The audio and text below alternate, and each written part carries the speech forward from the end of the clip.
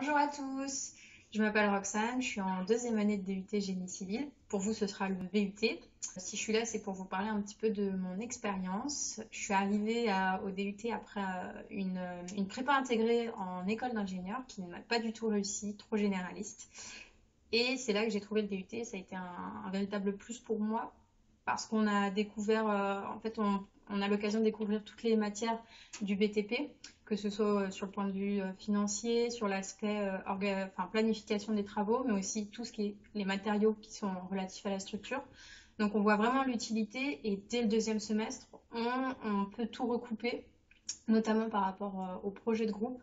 Donc c'est vrai, ça a vraiment été le plus pour moi au vu de cette formation et ça m'a permis de me projeter après derrière dans mes études supérieures et puis aussi dans mon métier.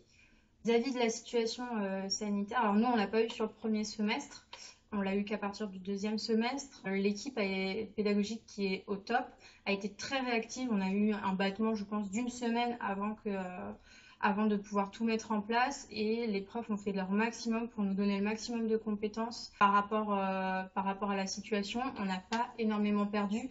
Le gros point qu'on a perdu, ça va être le stage, mais ça, de toute façon, on pourra, on pourra y pallier plus tard. Et là, avec le deuxième confinement, euh, ils se sont adaptés directement. On a pu tout faire, même, les, même les, le contrôle continu. Au final, ils ont réussi à étaler ça avec un peu plus de retard, mais sans qu'on soit énormément chargé. Donc au niveau de l'adaptation, ça a été génial.